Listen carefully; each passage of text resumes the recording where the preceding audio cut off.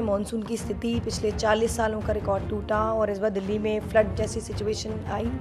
तो इस बार जो डेंगी, मलेरिया और ऐसे वेक्टर डिज़ीज़ जो हर बार मानसून में होती है थोड़ी सी उम्मीद थी कि केसेस ज़्यादा आएँगे, पर नगर निगम और एमसीडी जो एमसीडी का पब्लिक हेल्थ डिपार्टमेंट है, पूरी तरह से तैयार है। और जितने भी हमारे यहाँ के अधिकारी हैं ऑफिसर्स हैं, और जो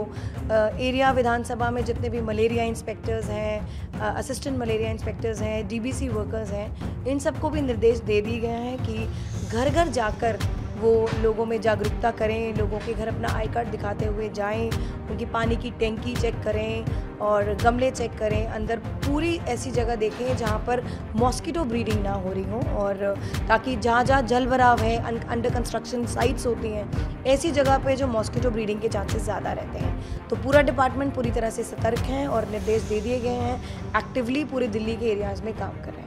और एक खुशखबरी और है, जैसे कि अभी माननीय मुख्यमंत्री अरविंद केजरीवाल जी ने पिछले हफ़्ते ही दिल्ली गवर्नमेंट के जो हेल्थ डिपार्टमेंट है और एमसीडी का पब्लिक हेल्थ डिपार्टमेंट है